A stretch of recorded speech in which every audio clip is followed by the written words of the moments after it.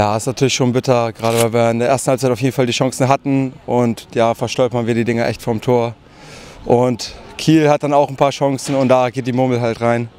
Und bei uns eben nicht. Äh, ist, ist im Endeffekt dann auch natürlich ein bisschen glücklich für Kiel, aber sie machen das Ding und wir nicht und deswegen fahren sie halt auch verdient mit drei Punkten dann nach Hause.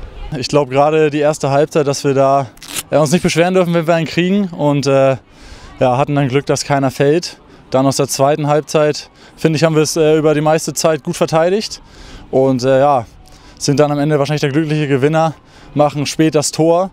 Nach dem Tor eigentlich auch noch gut weitergespielt, nichts Großartiges mehr anbrennen lassen und äh, ja, überverdient muss man vielleicht nicht reden. Also ja, aber wir freuen uns natürlich, dass wir auch hier die Punkte mitgenommen haben und ich denke, dass Pauli auf jeden Fall äh, stärker, deutlich stärker ist als der Tabellenplatz.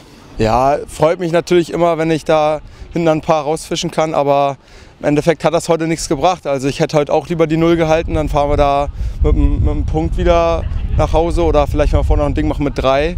So war die Leistung zwar in Ordnung wie von der, wie von der gesamten Mannschaft, aber es bringt uns ja nichts, können wir uns nichts von kaufen.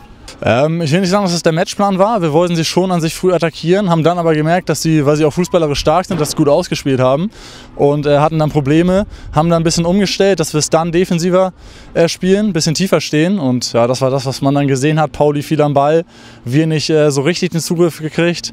Ähm, ja, dann kamen auch die Chancen für Pauli und ja, dann wurde der Matchplan äh, bisschen abgeändert. Ja, machen sie schon gut, spielen sich da über rechts außen durch, ähm, bringt dann eine extrem scharfe Hereingabe und ob der Kulikas war das da, hält dann seinen Kopf rein und ein richtig gutes Tor und ja, schwer zu verteidigen. Ja, also ich glaube vor allem, ich weiß nicht, vor dem Tor war es ordentlich, da haben wir es dann besser verteidigt, haben noch besser Zugriff gekriegt und ähm, ja, dann gerade mit dem Tor, das hat uns nochmal richtig Kraft und Mut gegeben und äh, dann war Pauli vielleicht hinten raus auch ein bisschen platt und dann haben wir es gerade auch äh, mit der Führung im Rücken dann auch gut zu Ende gespielt, finde ich.